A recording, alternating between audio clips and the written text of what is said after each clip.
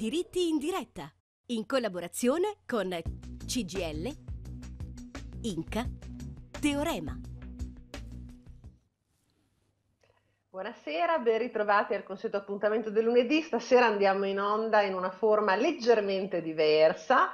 Sto bene, non ho nessun problema, ma ho avuto un contatto eh, con un soggetto che si è positivizzato, sono in attesa di fare il tampone, quindi ci teniamo separati eh, continuiamo a fare anche stasera la nostra diretta, voi dovete se, come dire, seguire consuete abitudini telefono e whatsapp come sempre, in studio invece c'è Viglian Zannoni che saluto e che è lì un po' solo e abbandonato ma c'è e quindi come dire siamo connessi dall'etere. E le domande le porremo a lui e cercheremo come dire di costruire insieme all'interesse dei telespettatori quelli che sono i temi legati come di consueto alle come dire, situazioni previdenziali e assistenziali. Apro subito per dar conto del fatto che giovedì mattina sono partite le procedure telematiche per le richieste dei congedi parentali straordinari legati all'emergenza Covid. La collega, le colleghe anzi che se ne occupano stanno lavorando celermente, ma non scade nulla, quindi se avete fatto la segnalazione semplicemente attendete che la procedura venga effettuata e vi venga data la copia da presentare al datore di lavoro. Se ancora non lo avete fatto potete fare la segnalazione perché, come dire, tecnicamente, siccome sono retroattive, una volta costruita la modalità, c'è modo assolutamente di recuperare la domanda se i criteri sono rispettati. Io passerei subito da William, non so se hai dei temi William da portare all'attenzione nell'immediato, io te lo lascio fare nel senso che così partiamo un po' anche con la cronaca, virgolette. Novità non ce ne sono, però sono sicura che ci siano, come dire, delle situazioni di novità che vuoi eventualmente segnalare ai telespettatori. Eh, sì, in effetti novità eh, nel senso di norme o interpretazioni recenti che meritino la nostra attenzione, di fatto non ce ne sono, però eh, continua la discussione sui temi che abbiamo già più volte accennato, anzi eh, sembra che su alcuni punti si stiano mettendo le cose in, in, un modo un po' diverso da quello che pensavamo, ad esempio opzione donna, abbiamo ricordato tantissime volte come in questo momento noi stiamo gestendo delle situazioni per coloro che hanno maturato i requisiti entro il 31 dicembre del 2020, quindi parliamo di una proroga per il 2021, ma in verità è appunto 2020, è l'ennesima proroga perché la cosa ormai da diversi anni si trascina di anno in anno, ma eh, fra le ultime voci che stanno circolando c'è quella di rendere o addirittura strutturale eh, l'operazione di opzione donna o di prorogarla comunque fino al 2023. Quindi probabilmente tutte coloro eh, che eh, stavano sperando di arrivare o, o, facendo i salti mortali per arrivare al diritto al, al 2020 o tutt'al più nel corso del 2021 pur con tutte le incertezze, forse avranno qualche spiraglio in più, qualche speranza in più per poter entrare in questa, in questa logica.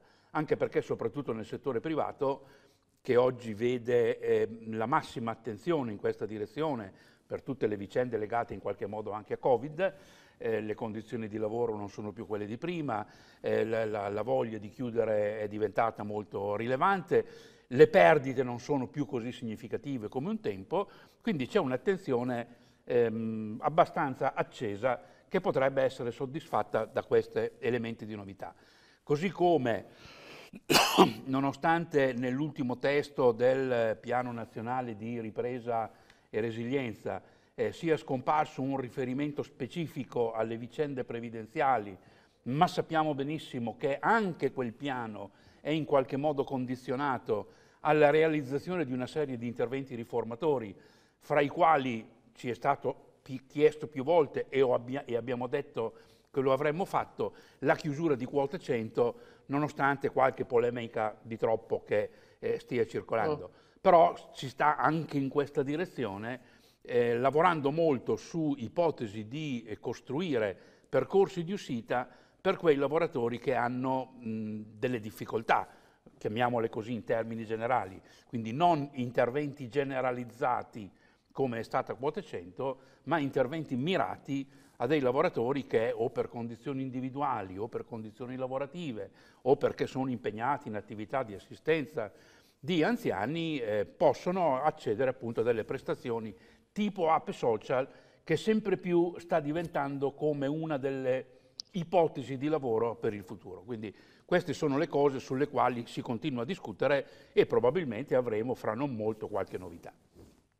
Quindi incentrato soprattutto sulle fragilità, l'avevano già detto, insomma, che diventano, come dire, un po' il meccanismo che dovrebbe procedere ad arrivare alla pensione prima degli altri, insomma, fondamentalmente questo è un po' il senso delle cose. Certo. Ti faccio una domanda che è arrivata come messaggio, ma credo che sia importante perché stiamo cercando di dare segnali nella costruzione delle posizioni assicurative in funzione del fatto che uno non arrivi troppo vicino alla pensione con una posizione che non lo soddisfa dal punto di vista né dell'importo né della costruzione del requisito. Questo signore in particolare dice io ho un salario che potrebbe attestarsi o comunque fa riferimento ad una persona che può attestare un salario attorno ai 450-500 euro netti al mese. Quindi la domanda è, e te la lascio sospesa un attimo e prendo la telefonata, pensiamo a cosa dire a questo eh, telespettatore su come costruire il diritto. Prendo intanto la chiamata, pronto? Pronto?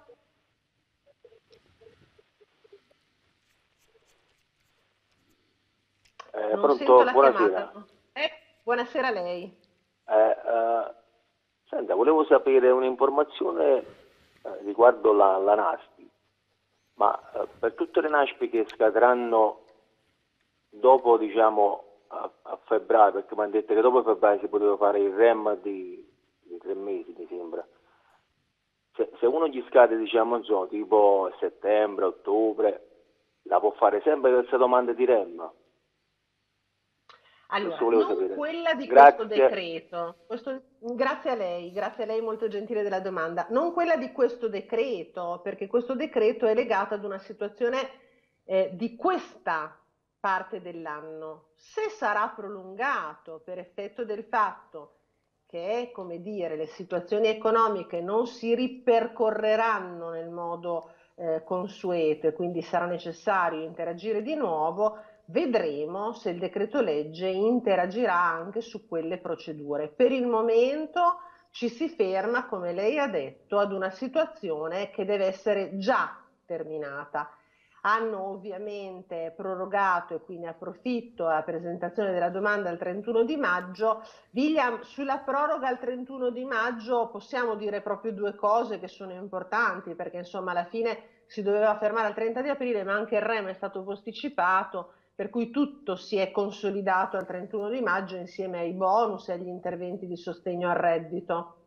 Sì, certo, l'Inps stavolta ha fatto la parte dell'agnello, nel senso che eh, si è fatta eh, protagonista anche di un confronto col Ministero del Lavoro per concordare appunto un slittamento dei termini perché un po' l'emergenza, un po' il fatto che lo stesso INPS non aveva predisposto per tempo tutte le procedure e le norme non erano così chiarissime, sono state via via eh, meglio approfondite, eh, eh, si è convenuto, d'accordo il Ministero del Lavoro appunto, di eh, far slittare tutti i termini fino al 31 di maggio. Quindi tutte quelle sollecitazioni che avevamo ricordato, che anche Silvano ricordava nelle puntate scorse, di fare le domande entro il 30 aprile, siamo tranquilli, abbiamo tempo adesso fino al 31 di marzo.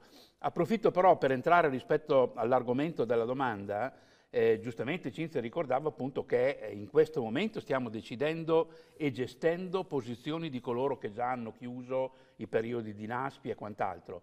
Però ehm, rimaniamo attenti a tutta la discussione che è aperta rispetto alla riforma degli ammortizzatori sociali perché al di là dei decreti eh, ristori riaperture varie legate alla vicenda Covid, c'è soprattutto la partita eh, chiusura del periodo di divieto di licenziamento e modifica dell'impianto degli ammortizzatori sociali che potrebbe intervenire in modo significativo anche su queste posizioni.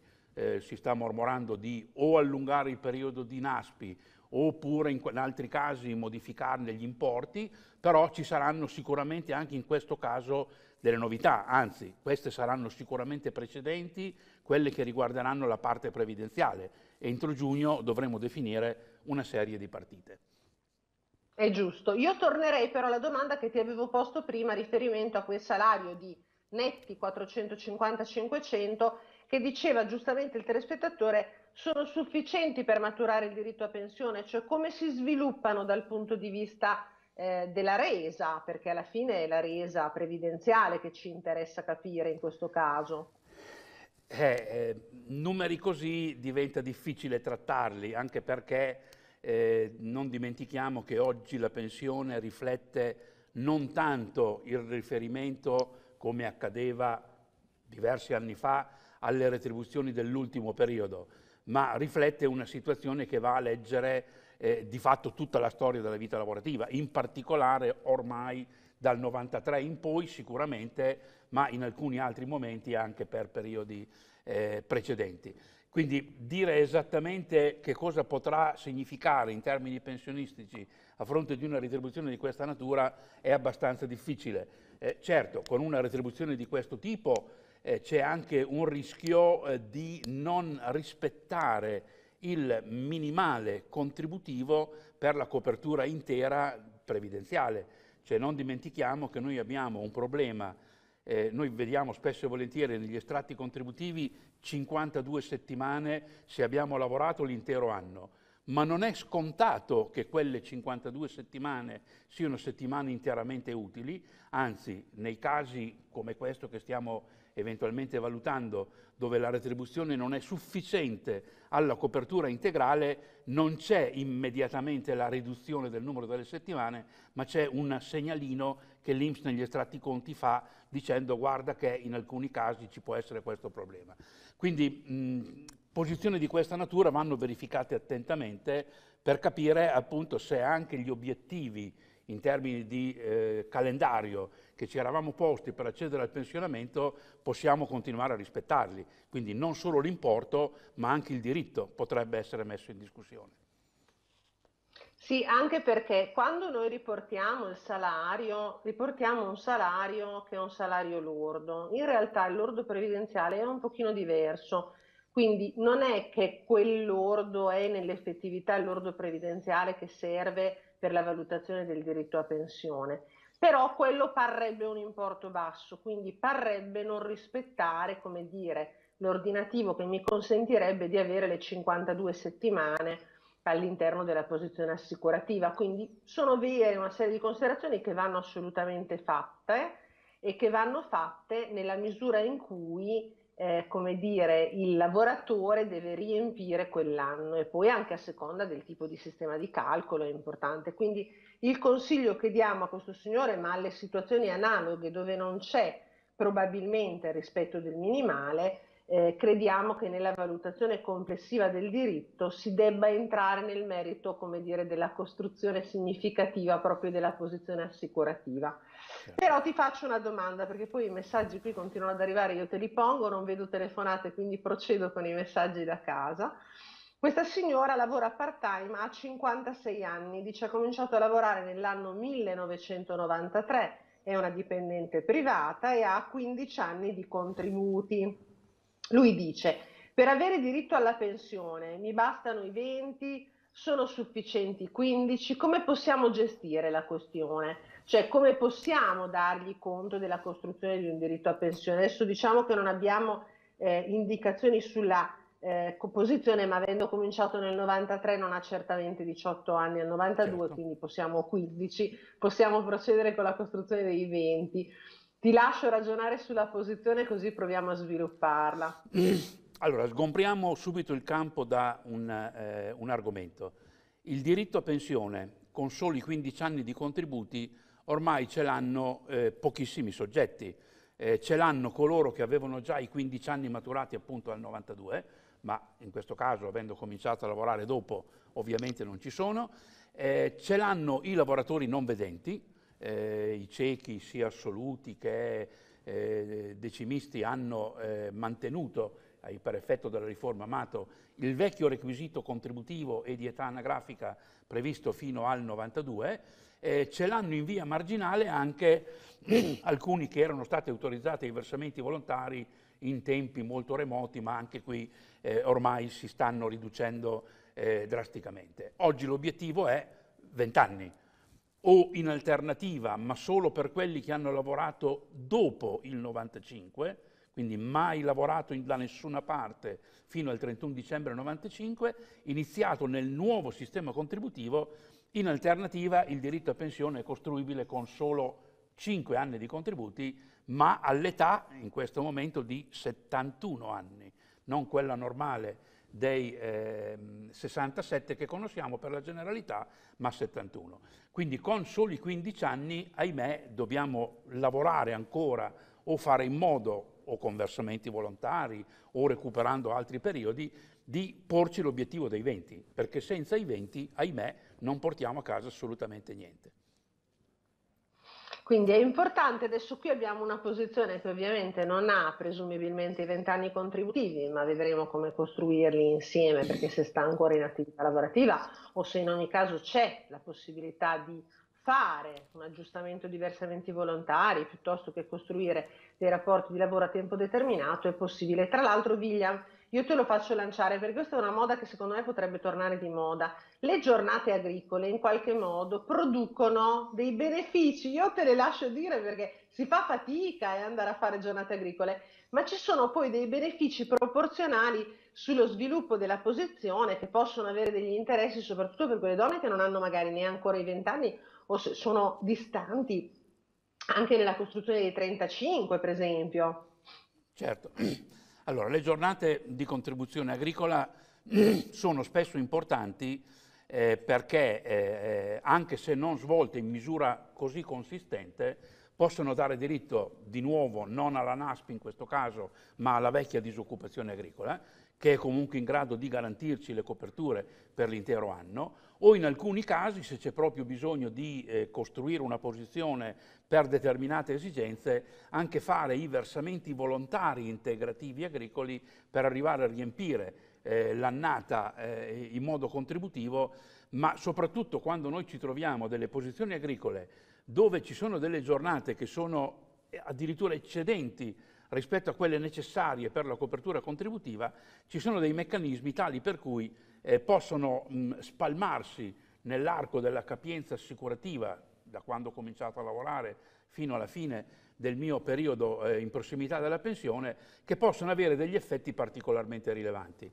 Poi è chiaro, per ricordarci anni fa, un tempo c'era anche il meccanismo di comprare le giornate agricole, che non era chiaramente un meccanismo corretto, eh, però eh, era una prassi molto in uso, o anche, ad esempio, la lavoratrice o il lavoratore che faceva comunque un'attività ma non così consistente, che mh, concordava in qualche modo di arrivare ai minimi necessari per eh, poi accedere alle prestazioni.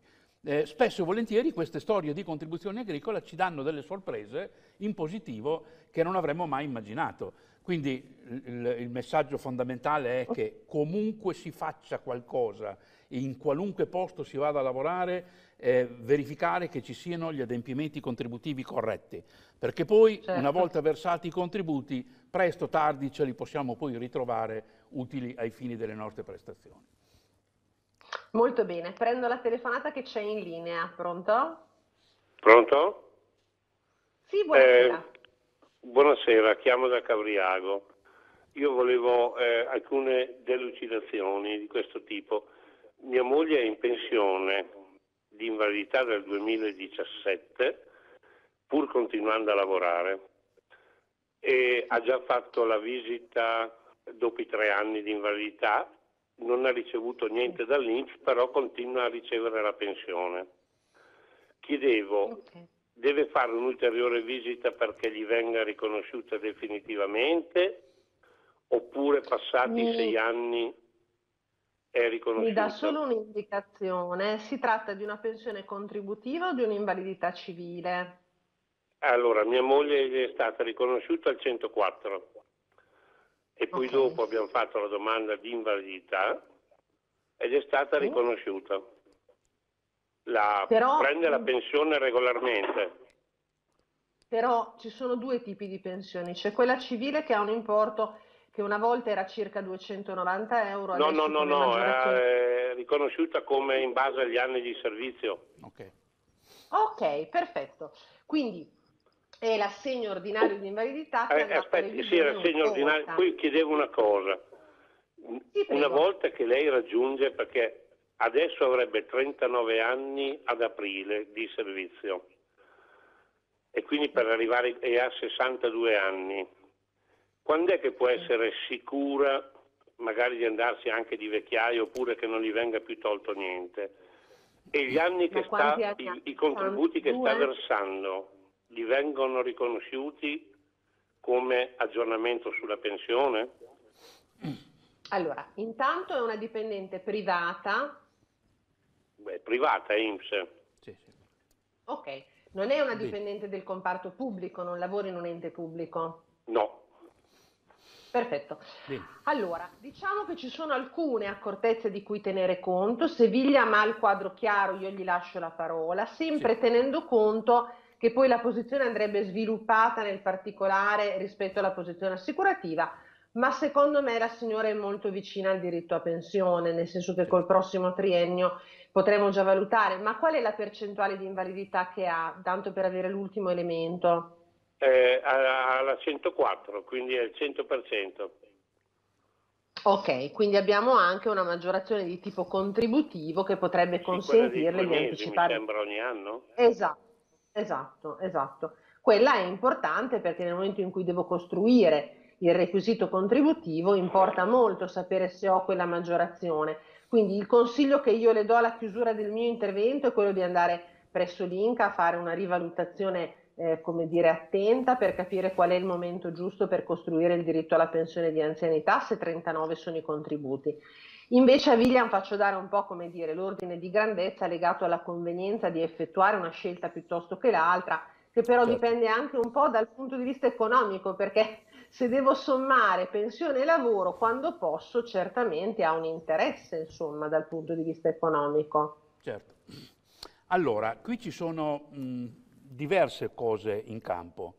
Allora, intanto ehm, non c'è bisogno, la, la, domanda che lui poneva, eh, di un'ulteriore visita. Se eh, alla scadenza del triennio nel 2020 ha fatto la richiesta di rinnovo dell'assegno e IMSS ha già fatto la verifica, anche se non hanno ancora detto nulla, dovrebbe essere di fatto confermato, perché se la risposta fosse negativa avrebbe già avuto la revoca dell'assegno. Ehm, quindi il prossimo traguardo che noi avremo sarà nel 2023, quando scaduto il secondo triennio, si porrà poi la necessità di valutare se converrà o meno chiedere la conferma definitiva, fra virgolette, nel senso che se rimane invalida non deve più fare richiesta di rinnovo, oppure valutare se nel frattempo si è arrivati al diritto o se convenga sospendere comunque l'erogazione dell'assegno ai fini del diritto alla pensione anticipata, perché se ha 39 anni e da qui al 2023 possiamo arrivare al diritto alla pensione anticipata e in questo caso potrebbe convenire non chiedere più il eh, secondo rinnovo, eh, ma eh, sospendere l'assegno appunto e andare in pensione anticipata perché l'assegno non lo si può trasformare in pensione anticipata. C'è però un'altra, eh, una seconda fattispecie che potrebbe essere interessante, che è quello della pensione anticipata di vecchiaia. Visto che gli è stato riconosciuto il 100% di invalidità, oltre alle 104, eh, rimane sempre la possibilità di chiedere la pensione di vecchiaia anticipata se uno è invalido almeno all'80% eh, l'80 e il 100 non sono valutazioni identiche, non possiamo mettere a confronto i due numeri perché sono criteri diversi di valutazione, però uno che è già al 100 è molto probabile che possa ottenere anche questo. In questo caso avrebbe anche già l'età per chiedere la pensione anticipata, quindi la valutazione andrebbe fatta A, tenendo conto delle intenzioni di prosecuzione o meno dell'attività lavorativa. Se io nonostante l'invalidità mi sento e desidero comunque continuare a svolgere un'attività lavorativa, tanto vale arrivare alla fine della scadenza dell'assegno e valutare poi in quel momento il da farsi. Se uno invece comincia a dire ma io sono stanco, non ce la faccio più, faccio fatica a lavorare, quindi voglio valutare un'altra opportunità, quella della pensione di vecchiaia anticipata è uno scenario abbastanza raggiungibile.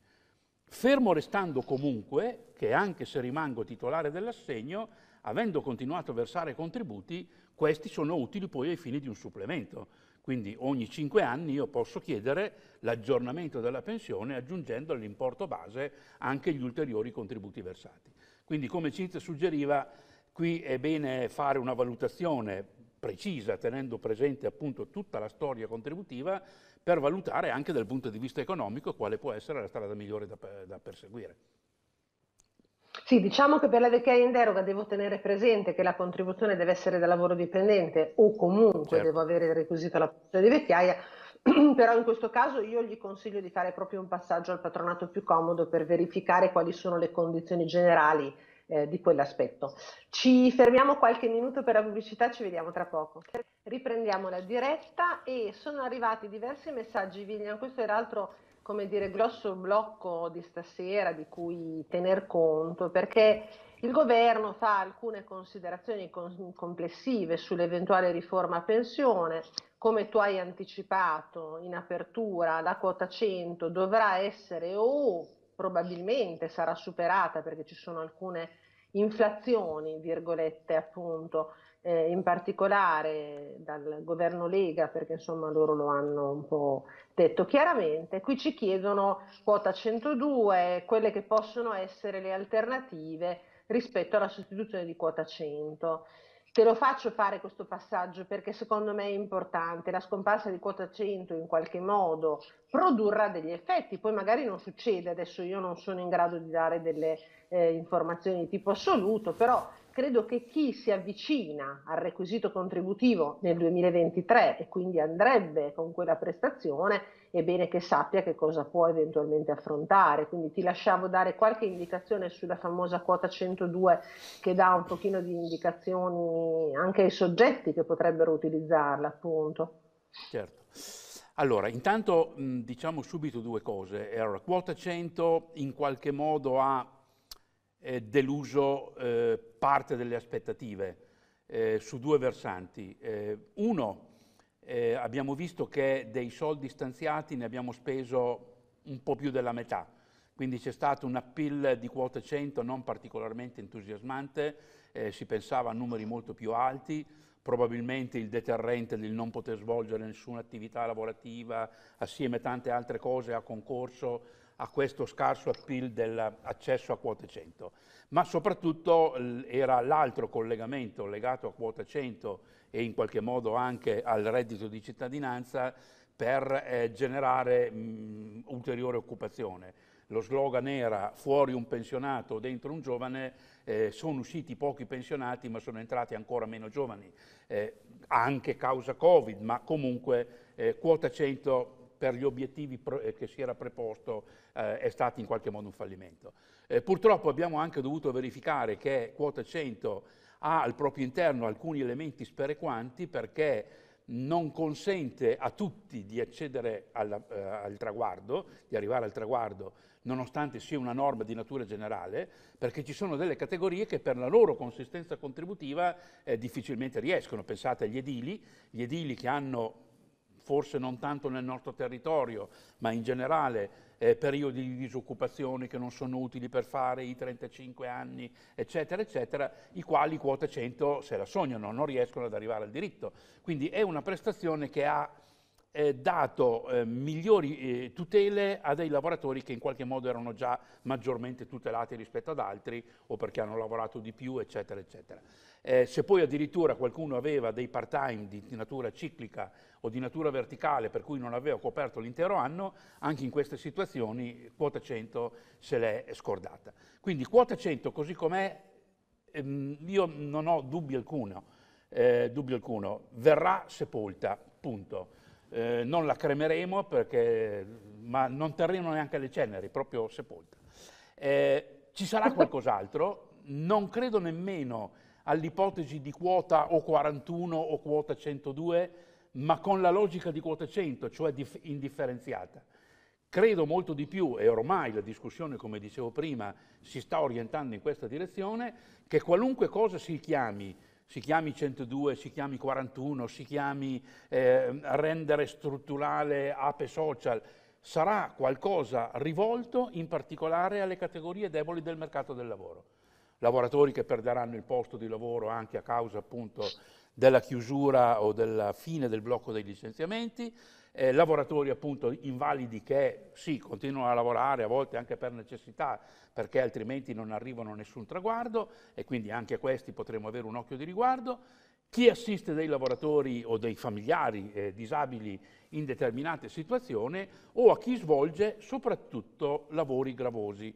Eh, su questo ultimo capitolo c'è molta attenzione quindi probabilmente anche le famose 15 categorie che abbiamo più volte ricordato, che consentono di accedere ancora oggi ad ape social e alla pensione dei precoci, potrebbero essere eh, o meglio precisate o dilatate per ricomprendere meglio alcune figure. C'è ad esempio un disegno di legge in discussione in Parlamento, un po' estemporaneo perché andrebbe collocato nel dibattito generale, rivolto agli edili, perché gli edili sono un'altra di quelle categorie che svolge un lavoro abbastanza eh, significativo, solo alcune mansioni fanno parte de delle 15 considerate gravose, ma ci sono dei soggetti che oggettivamente dopo i 60 anni eh, farli andare su per dei ponteggi eh, attorno a dei fabbricati diventa complicato. Quindi io la vedo più in questa direzione e vedrete che secondo me questo sarà l'obiettivo che eh, vedremo.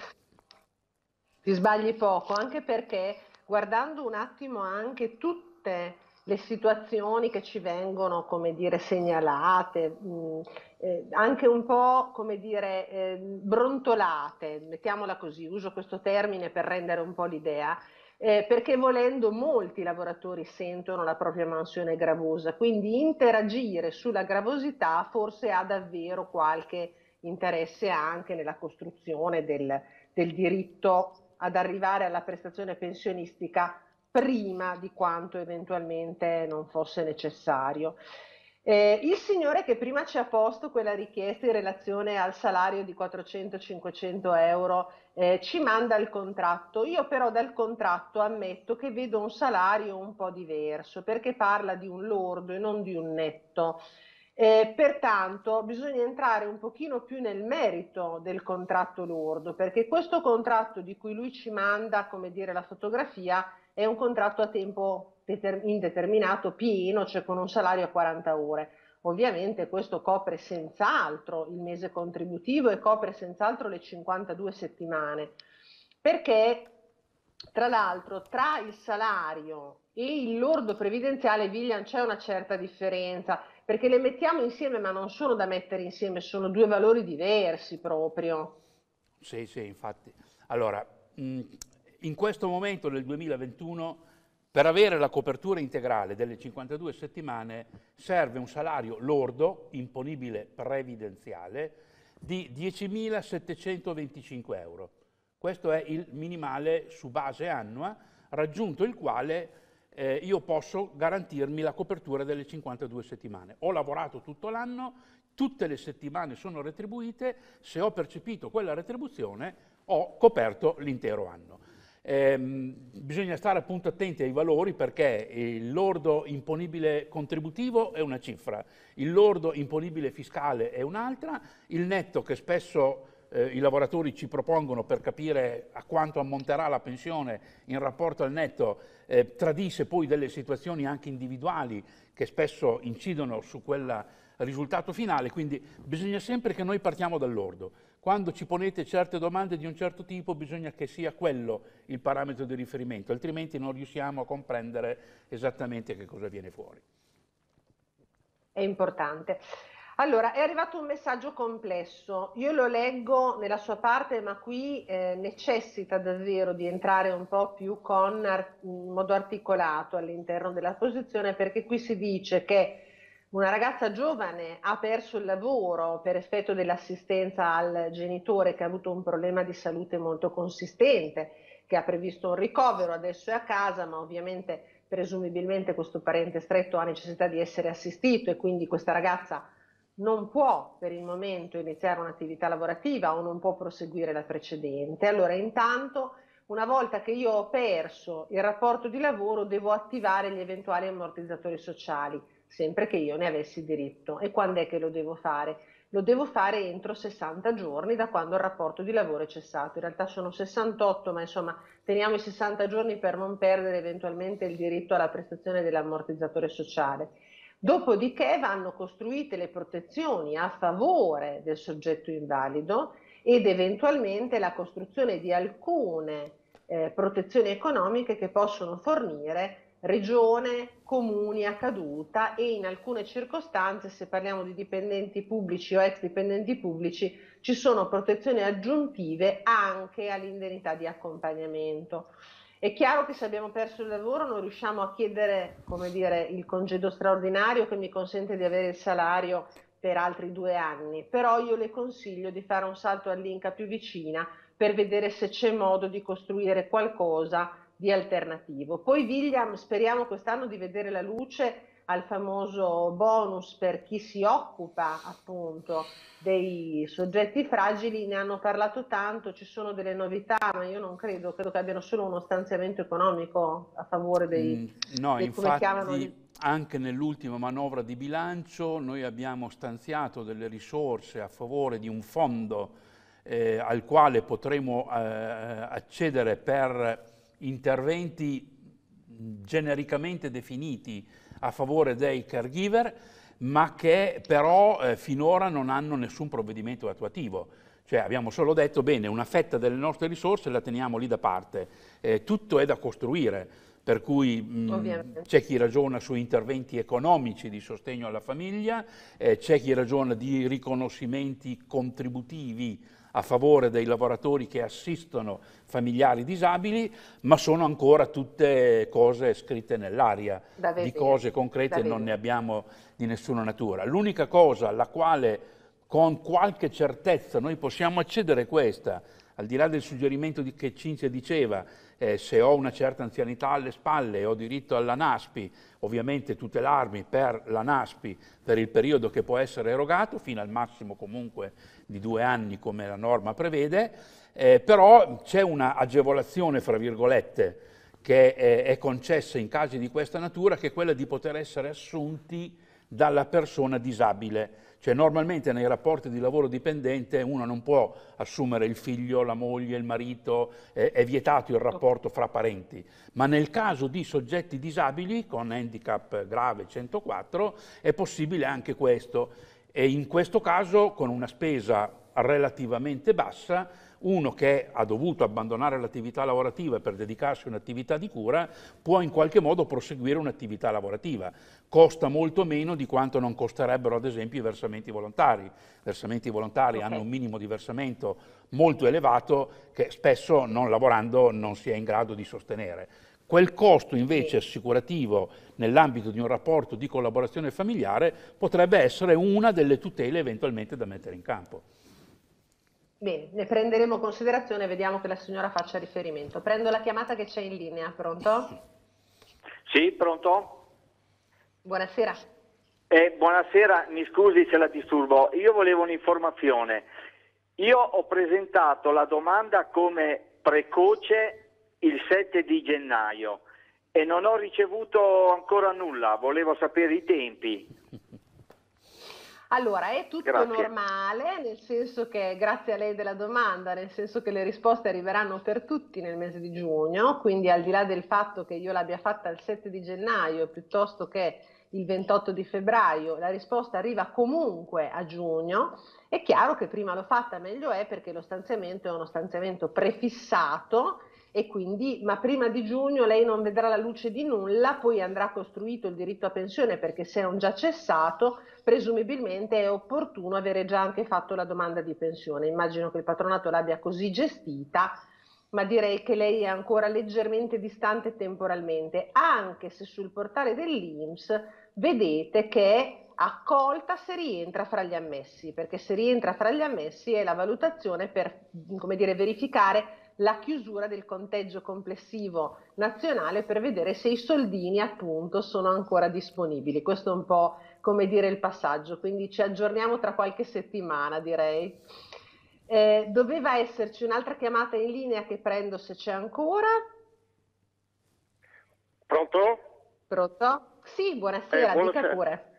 Buonasera, senta, volevo chiedere una cortesia, un'informazione. È una situazione un po' complessa, cioè sarebbe a dire nel, 2000, nel 2001 ho avuto una malattia professionale, dopo di ciò nel 2003 ho avuto un infortunio che mi sono rotto una gamba e poi hanno fatto dei punteggi fra la malattia e l'infortunio mi hanno dato una rendita, una rendita a vita. Ora mi sono aggravato con altre patologie che sono diventato poi poliallergico e mi hanno fatto l'invalidità civile, mi hanno dato l'invalidità civile. All'inizio al 50% e poi da poco tempo mi hanno dato il 75 più la 104 grave, di come grave. Ora volevo chiederle, sono anche titolari di assegno ordinario di invalidità? si possono accumulare sì. tutte e due cose perché sono tutti divisi, l'incidente, con, ci sono varie cose divise. Rischio di perdere allora, qualcosa? No, allora non rischia di perdere niente, purtroppo se ha questa complessità di riconoscimenti è perché l'istituto, gli istituti in questo caso hanno valutato che c'è una complessità di patologie che possono coesistere. Ci sono alcune implicazioni rispetto all'assegno di invalidità IMSS che potrebbe ridursi in funzione della rendita INAIL, però chi le ha fatto le domande dovrebbe aver tenuto conto di tutti questi passaggi. Quindi alla fine lei prende anche la pensione IMSS assegno ordinario di invalidità o la prende ridotta quella? No, no, no, no la prendo piena, no, no, 515 non piena. Quindi è intera, ok. Allora, direi che hanno fatto una valutazione complessa, ma che probabilmente compatibilizza tutti gli elementi sanitari per avere due situazioni di rendita. Una è la rendita INAIL, che è quella riconosciuta dall'infortunio. Mi hanno detto che si è cristallizzata, la rendita INAIL si è cristallizzata. Okay. Ma non è tanto l'INAIL, è l'IMS che potrebbe porre un problema sulla parte legata a INAIL, ma se non l'hanno fatto e la rendita, quella IMSS intendo, quindi quella da contributi, la prende non da qualche mese ma da un po' di più, vuol dire che hanno già fatto anche le verifiche delle patologie. Sì, perché anche quasi ho fatto adesso l'ultimo, l'ultimo corso da, dopo nove anni, sei, tre volte l'ultima sì. visita. Perciò... Quindi è, è, tutto corretto secondo me. Adesso glielo faccio dire anche da William perché ci mancherebbe altro. Però lei da La questo ringrazio. punto di vista deve Niente, ci mancherebbe. Grazie. Sì. Deve stare tranquillo, purtroppo ha una serie di sfortune che sono compatibili, William, e qui gli istituti certo. hanno interagito, direi. Allora, Quindi glielo proviamo a ridire, insomma allora, il senso è Evidentemente eh, la, la, situazione INAIL è, come lui dice, cristallizzata, nel senso che le rendite sono rivedibili, eh, quelle da infortunio eh, non oltre 10 anni, quelle da malattia professionale non oltre 15 anni, ma in entrambi i casi sono passati i termini, quindi non dovrebbe essere più rivista per la parte INAIL. Eh, in questo caso, fra l'altro, essendo un danno da lavoro preesistente, eh, dialoga con l'assegno ordinario di invalidità per quale motivo? Perché le patologie che sono insorte successivamente e che da sole o magari anche con il concorso dell'INAIL hanno determinato la insorgenza dell'invalidità fanno sì che la, la cosa è compatibile. Non è compatibile quando c'è già un po' di patologie, si aggiunge un danno da lavoro che è determinante per il diritto all'invalidità. In questo caso allora le due cose sono incompatibili. Non c'è niente invece che crea ostacoli per quanto riguarda sia l'invalidità civile, perché in questo caso legge solo le patologie che non derivano da lavoro, quindi quel 50 che è diventato un 75 è per le patologie extra lavorative, quindi fuori dall'infortunio e dalla malattia professionale, mentre l'handicap grave chiaramente legge la condizione fisica del soggetto nel suo insieme, di qualunque natura siano le patologie, che dà diritto eventualmente ai benefici 104 con tutto quello che è correlato. Quindi credo che lei possa dormire sonni tranquilli, non ci sono problemi di nessuna natura. Purtroppo ne ha dei problemi, ma li ha avuti riconosciuti. Certo. Questo non è poco, devo dire la verità, perché nella compatibilità è abbastanza complesso.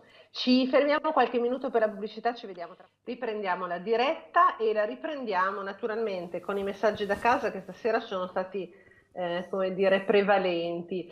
Eh, voglio fare solo un riassunto, sono collegata da casa ma sto benissimo, sono solo in attesa di un tampone di controllo perché abbiamo avuto un contatto con una persona positiva, quindi attendiamo il tampone abbiamo tenuto le distanze, come dire, corrette anche nei confronti dei colleghi di Telereggio. Qui abbiamo una domanda riferita a William al ragionamento che abbiamo fatto prima nell'assistenza del familiare che può essere utilizzato come collaboratore familiare per l'assistenza. Il telespettatore ci chiede, è necessaria la convivenza? No, no, no, No. eh, assolutamente. Eh, cioè, basta che si dichiari che quella è la persona che mi assiste e io la posso assumere nonostante l'affinità o la parentela molto stretta. Quindi è una deroga Quindi al principio non si generale. necessita che abitiamo insieme da questo punto di vista. Sì, sì, sì. No, non c'è problema. Perfetto, è corretto perché poi sono domande che sembrano non particolarmente importanti, ma in realtà lo sono e quindi è bene metterle in evidenza. Qui nasce invece una domanda che mi interessa prendere in considerazione perché abbiamo parlato e si parlerà sempre più spesso di precoce piuttosto che di categorie fragili. Qui abbiamo un soggetto che non aveva, credo, l'anno di lavoro prima dei 19 e quindi dice posso pagare dal punto di vista del versamento volontario un contributo che costruisca l'anno di lavoro e che mi faccia acquisire la qualifica di precoce in questo caso. Adesso andrebbe verificata bene la posizione per i adesso 37 anni contributivi, quindi bisognerebbe andare a collocare nel tempo esattamente la contribuzione. Però insomma, lui dice io non ho lavorato, posso pagarli?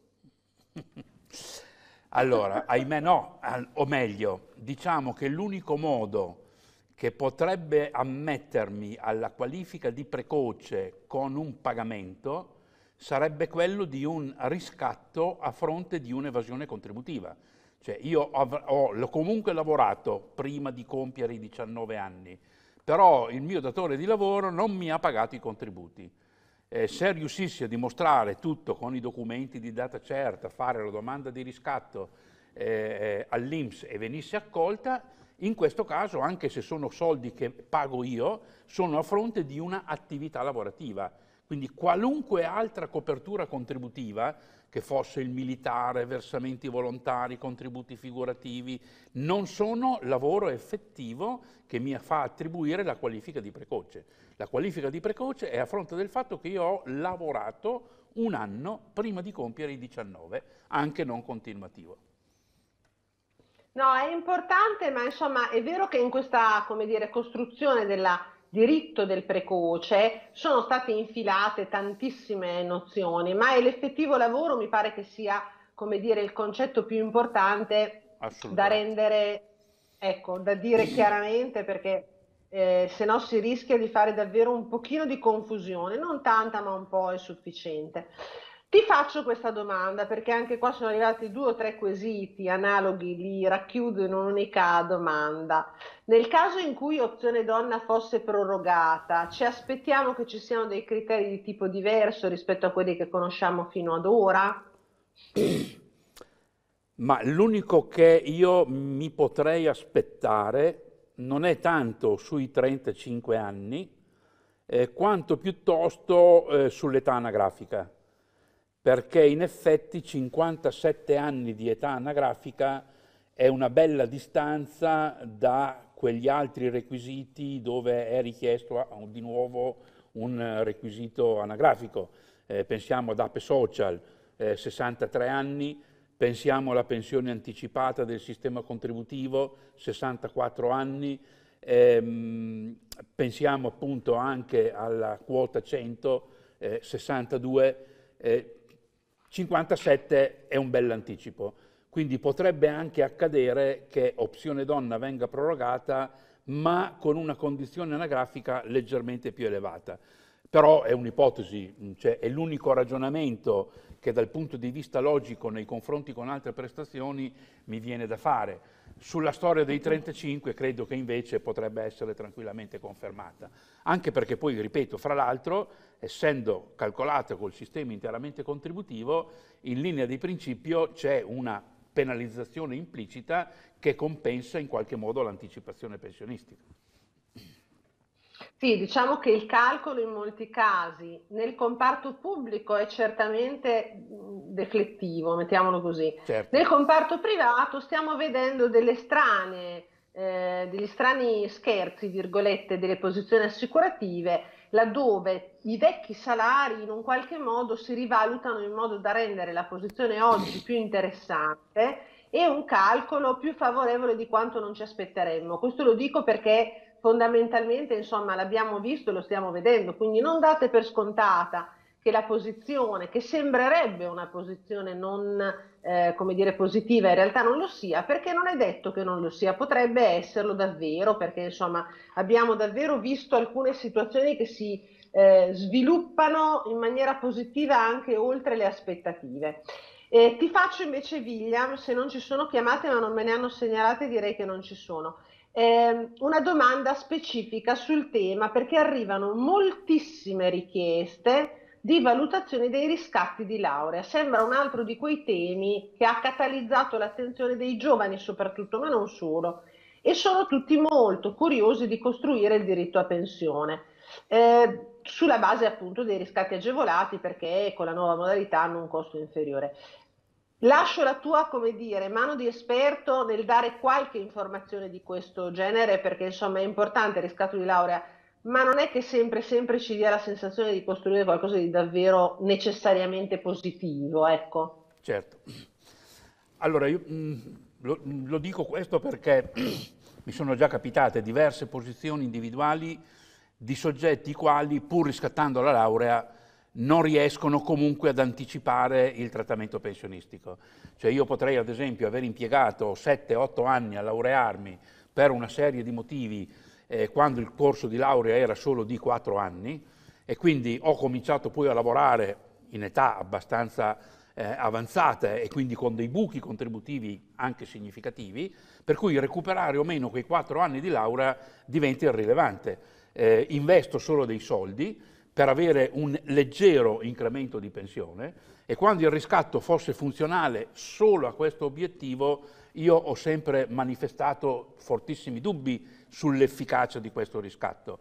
Diverso è sempre il caso in cui un soggetto si è laureato nel tempo normale previsto per la durata legale, i 5-4 anni, quelli che sono. Eh, appena laureato ha cominciato a lavorare, quindi ha anche una storia contributiva che nella prospettiva ovviamente che tutti ci auguriamo di continuare eh, tranquillamente a svolgere attività lavorativa, potrebbe portarmi ad anticipare appunto il pensionamento. Ovviamente tutto valutato a norme vigenti, non possiamo immaginare ciò che il legislatore farà fra dieci anni. Eh, io parto sempre dal presupposto che la convenienza al riscatto appunto è quando abbina questi due fattori, mi incrementa sì la misura della pensione, ma soprattutto mi consente di anticiparne l'accesso. Quello è la chiave di volta che secondo me rende compatibile un riscatto. Dopodiché però, attenzione, perché se, se parliamo di giovani che hanno frequentato l'università da quando si sono iscritti in avanti, tutta dopo il 1995, qui problemi non ne abbiamo di nessuna natura, nel senso che debbo solo scegliere visto che oggi presumibilmente sto lavorando, se preferisco pagare il 33% della mia attuale retribuzione, esempio, ho 30.000 euro lordi, eh, pago 10.000 euro per ogni anno di riscatto, oppure pagarlo sulla base di quel riscatto agevolato che mi costa poco più di 5.000 euro l'anno. Eh, visto che l'incremento non è così importante, in questo caso se è significativa la necessità di coprire un periodo per anticipare la pensione, tanto vale spendere il minimo indispensabile. Ovviamente stiamo sempre parlando di regole in termini generali, poi ci sono sempre delle cose particolari, individuali, che vanno valutate.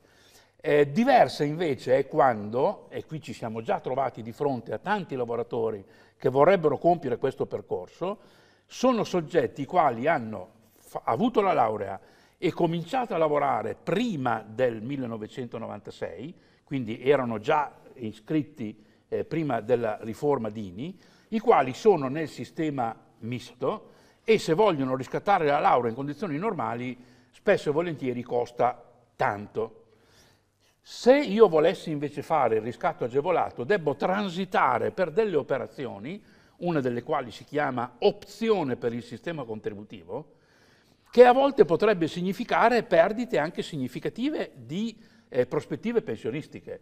Eh, poi è chiaro che per una generalità media di lavoratori che hanno retribuzioni che sono più o meno nella media, questo problema non si pone. Ma se uno è già inquadrato a dei livelli alti di retribuzione o ha la prospettiva di fare carriera, di diventare anche un dirigente di azienda, bisogna sempre mettere in conto che cosa significa optare per il contributivo. Perché vi faccio di nuovo un esempio con dei numeri.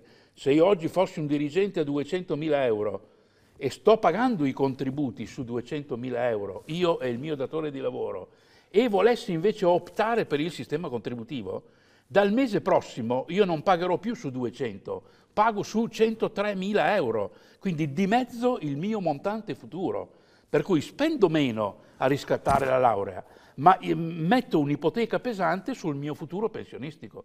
Queste sono tutte valutazioni che vanno fatte, ribadisco, in capo alle persone. Quindi possiamo creare qualche mh, mm, blocco di problematiche, laurea prima, laurea dopo, cominciato a lavorare prima, cominciato a lavorare dopo, ma la soluzione finale va sempre ricercata in campo alla singola persona.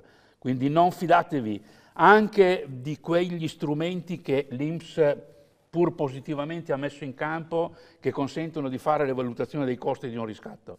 Prima di decidere di fare domande, ma soprattutto prima di decidere di pagare o di fare certe scelte funzionali alle domande, informatevi, informatevi, informatevi, perché di fregature sul campo previdenziale ce ne sono tante, quali si, con le quali si incappa involontariamente pur non conoscendo il quadro generale.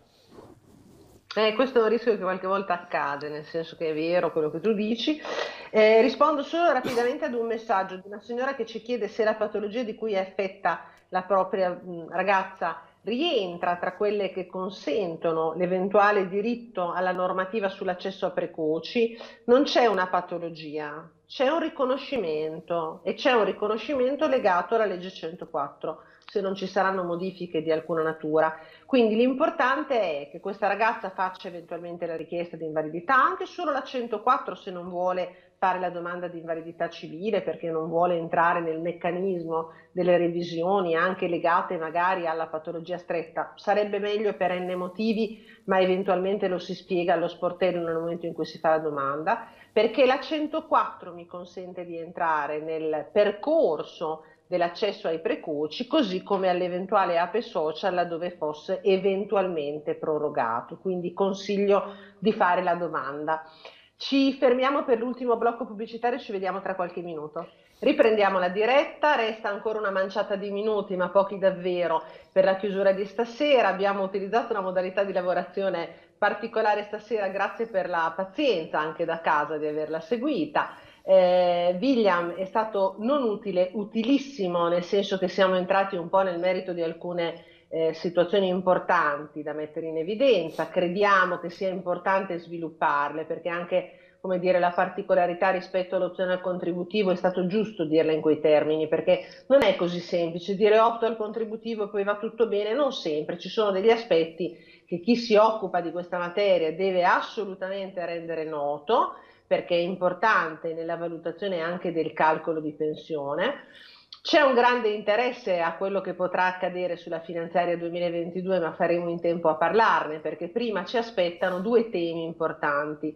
Il primo è la riforma degli ammortizzatori sociali che ci aspettiamo, perché poi anche sulla base dell'apertura del divieto dei licenziamenti, che presto o tardi dovrà venire a mancare, eh, succederanno delle cose, quindi la riforma degli ammortizzatori è importante.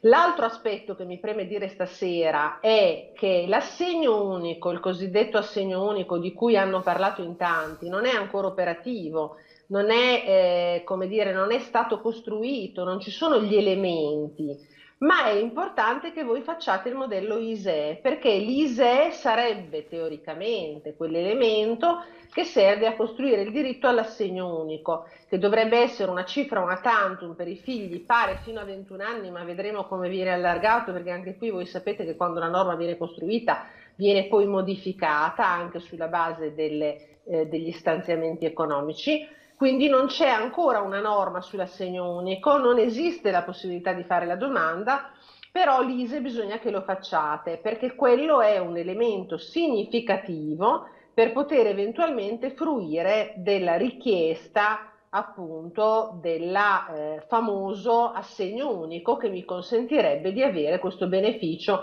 di tipo economico appunto.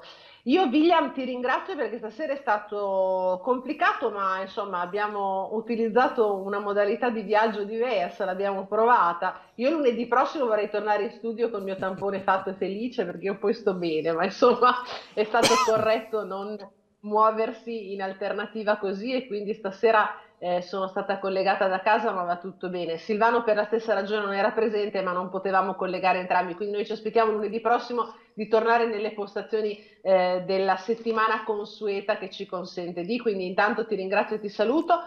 Ringrazio anche la regia Paolo Ronzoni e Antonio Lavacondio e a voi invece dico due cose rapide. Per accedere al patronato noi siamo presenti nonostante la zona si sia aperta, quindi non è più una zona rossa o una zona arancione scura, eh, non venite senza appuntamento, non fatelo se non avete un accesso autorizzato dall'operatore. Ci siamo, con pazienza rispondiamo a tutte le mail, arriviamo davvero da tutti, dovete solo avere un attimo di pazienza in più perché è assolutamente necessaria per noi nella gestione. Vi ringrazio tantissimo e vi do l'appuntamento a lunedì prossimo, sempre in diretta, sempre alle 9. Buona serata a tutti.